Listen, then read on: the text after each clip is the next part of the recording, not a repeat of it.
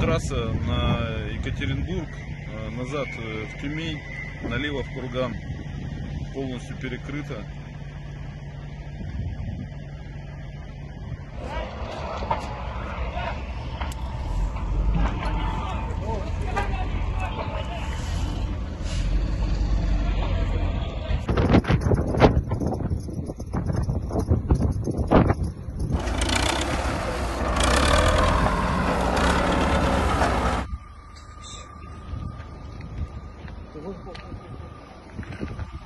Может, сейчас ветер поднимется. Так.